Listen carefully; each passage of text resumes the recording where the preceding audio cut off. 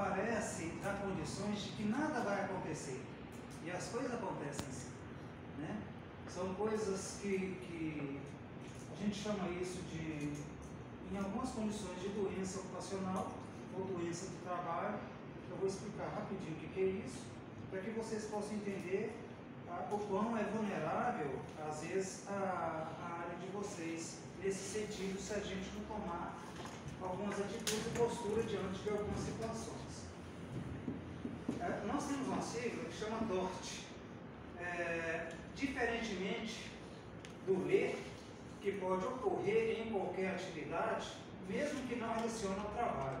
Só pode, só pode ocorrer aqui no ambiente de trabalho sendo caracterizado pelas condições inadequadas em que a função laboral é realizada. Lembrando que vocês não estão na condição inadequada, vocês estão numa condição extremamente adequada. Se alguém tiver alguma coisa relacionada a isso, por exemplo, fala, não, a minha condição aqui não está legal, o meu layout aqui não está legal, onde eu sento não está legal, está me causando dor. Só de eu querer conversar com o meu colega não está legal porque eu tenho que movimentar o meu corpo, fazer um movimento brusco. Isso aí também é uma condição inadequada de trabalho. Isso vai causar um estresse durante o dia, isso pode causar dores lombares, isso pode causar lombalgias e, e outras coisas mais, tá? Então, é aquilo que eu falei da outra vez. Tela de computador. Estou sentindo que a tela aqui, pelo menos para a minha visão, está bem confortável, né? Porque quando a tela tem uma luminosidade, uma, uma luminosidade muito forte, ela acaba tendendo, fazendo com que a gente se aproxime mais da tela. Aí vai de cada um o seu problema de visão. Talvez não tenha, mas pode adquirir se não souber lidar com essa tela desse computador. Para combater, é, uma excelente dica é a prática de atividade física. Então é o que eu estou fazendo. Eu descobri que eu estou com, com glicose muito alta. O que, que eu descobri nisso tudo? Caminhada. Recurso que eu utilizei para que eu possa reduzir e amenizar a minha doença que eu adquiri por causa de alguma coisa. Então, isso para vocês do administrativo que gostam muito de andar de moto de carro, por favor, exercitem. Fazem aí os seus exercícios, que é muito interessante, independentemente de academia.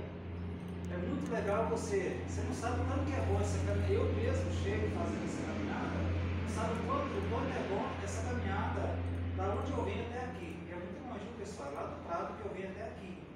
Aí eu venho numa, situação de oração, eu rezando o texto, o rosário, do meu jeito, e isso me faz me sentir bem. Eu chego aqui bem, não chego aqui cansado, eu chego, eu chego aqui satisfeito de poder chegar vocês, que são meus companheiros. Então, de trabalho. Então, é, existe algumas incidências de, de doenças ocupacionais que, além de elevar a carga tributária na organização, toda doença ocupacional ela vai gerar uma carga tributária.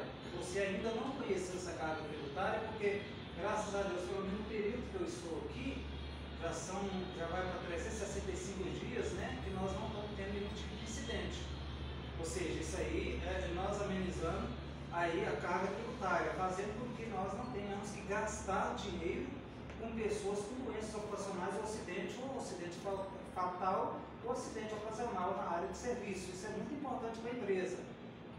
Custo é muito alto uma empresa que venha, que venha gastar com um acidente, seja ele ocasional, seja ele um acidente que gerou lesão ou fatal.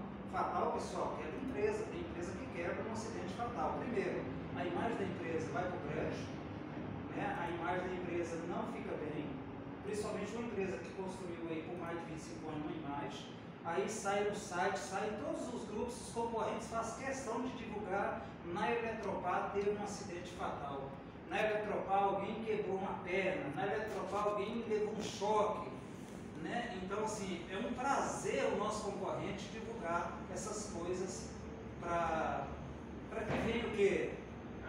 cair as nossas atividades, nossos serviços, né? os clientes correm da gente. Vamos dizer assim, as nossas ações vão lá embaixo. Então, nós temos que tomar muito cuidado com esse tipo de incidência, com esse tipo de situação, com esse tipo de imagem que a gente coloca sempre em relação à nossa empresa. Vou dar um exemplo banal aqui. Por exemplo, você está de moto, você se acidenta ali no trevo. Ninguém fala que é a fulana de tal.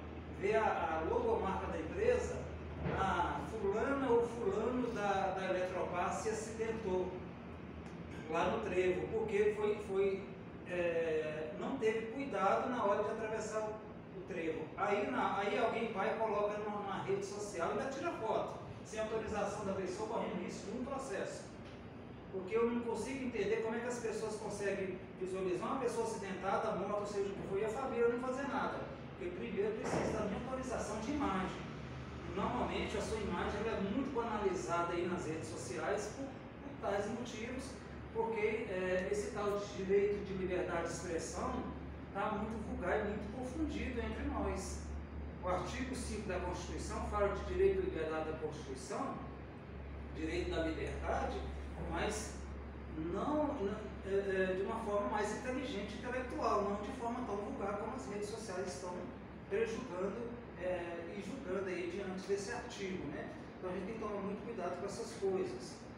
A qualidade no ambiente de trabalho, vocês, pessoal, vocês, cada um de vocês, eu costumo dizer o seguinte, para finalizar, eu dei treinamento numa empresa, uma empresa, ela chama Concebras, ela é de Patos Minas, eu fiz uma, um treinamento de um dia, uma empresa, pode olhar lá, professor Leomar Aragão, é, Concebras, vocês vão achar é, essa palestra minha lá.